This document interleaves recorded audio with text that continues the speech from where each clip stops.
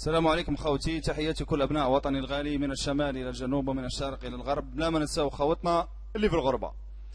آه، سفيان فيغولي اللاعب آه، المحارب آه، الشيكور كما يقولوا له اللي يتألق في سماء في سماء الكرة التركية اللي يسجل في المقابلة المقابلة اللي سبقت ثلاثية كاملة. هذا إن دل أن آه، أن أن سفيان فيغولي عائد وعائد بقوة.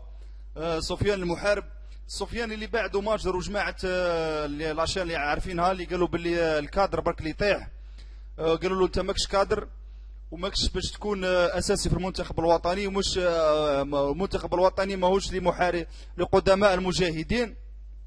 هذا من الناس اللي كانوا يحاربوا في سفيان فيغولي سفيان فيغولي اللي الدم تاعو سال في مقابلة روسيا محارب عائد وعائد بقوة.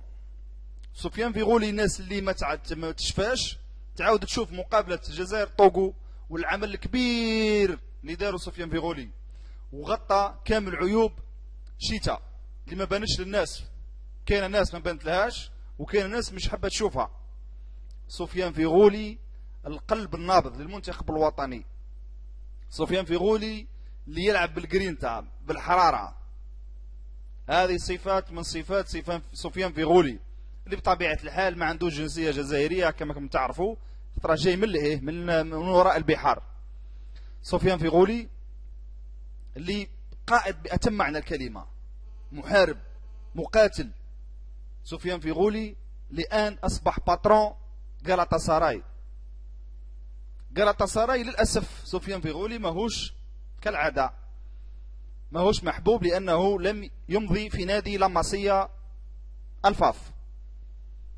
لو أمضى في لماسية الفاف لأصبح سفيان فيغولي لاعب المحبوب المرغوب فيه واللاعب الفنان لكن سفيان فيغولي كبقية أصدقائه ولا كبقية زملائه لم يمضوا في النادي العالمي النادي المحترف في, في أحسن نادي في أوروبا وفي العالم لماسية الفاف. إذا خوتي سفيان فيغولي عائد وعائد بقوة. مثله مثل زملائه إسحاق بالفوضيل الهداف اللي راجع بقوة وأثبت علو الكعب نتاعو في نادي ضعيف نادي هوفنهايم في البطولة البوندسليغا الضعيفة نفس الشيء لي بن ناصر الفنان بن ناصر وسط ميدان المتألق اللي آه، قدم تمريرتين في مقابلة ساسولو وبين باللي هو قائد الأوركسترا آه، قائد الوسط ميدان يعني هو الارتكاز الفنان بأتم معنى الكلمة.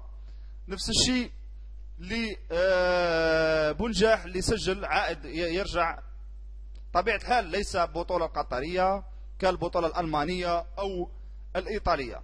لكن نحتاج نحتاج اللاعبين يكونوا هدافين يكونوا يقدموا مستويات مش شرط إنك تكون هداف تقدم مستويات يطلع المستوى تاعك هذا يرجع دائما للفائدة للمنتخب الوطني. نفس الشيء لنبيل بن طالب. نفس الشيء الفارس. لاعب دائما في الاستمرارية رغم أنه خسارة النادي نتاعو لكن يقدم في مستويات مقبولة. ماندي ما نحكيش. ماندي مغضوب عليه لأنه أمضى في نادي بيتيس النادي الضعيف في البطولة الضعيفة اللي هي لا ليغا الإسبانية. لو أمضى ماندي مثل بلفوذيل مثل فيغولي مثل بن طالب لو أمضوا في النادي العالمي نادي الأحسن نادي في العالم اللماسية آه الفاف لكانوا من المشكورين وكانوا من الممدوحين. إذا خوتي مختصر مفيد ما يقدمه المحترفين سوف يساعدهم على تقديم الإضافة الكبيرة والمرجوة في المنتخب الوطني. طبيعة الحال بعد تحضير و تهيئة كل اللاعبين.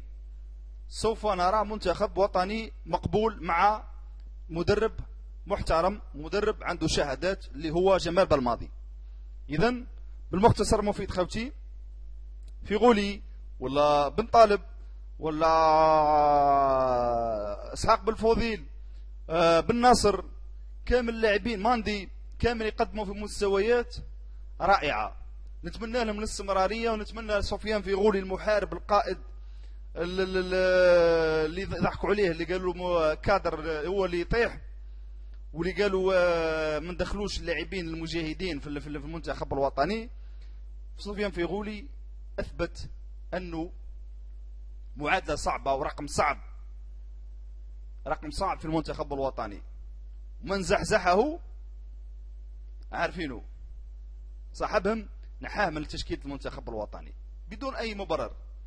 سوى أنه سفيان فيغولي جاي, من وراء البحار. سفيان فيغولي جاء من وراء البحار. وكما تعرفوا الاتحادية اللي يجي من وراء البحار فهو ليس جزائري. إذا نتمنى كامل التوفيق لكامل محترفينا بمن فيهم العودة إن شاء الله السليمة والعودة القوية إن شاء الله ليوسف عطال ونتمنى له الشفاء العاجل. وكامل المحترفين بونجاح زفان أيضا ما ننساش زفان عائد بقوة ومتألق. نتمنى كامل يكونوا في المنافسة وكامل باش تكون المناصب قوية مناصب آه، اللاعبين هذوما باش يضمنوا المناصب تاعهم لازم من العمل. هذا مختصر مفيد. نتمنى التوفيق لكل محترفينا ونتمنى التوفيق أيضا للاعبين المحليين اللي احترفوا في أوروبا. في الأخير خوتي ملاقاتنا مع مزيد من الفيديوهات والسلام عليكم ورحمة الله تعالى وبركاته.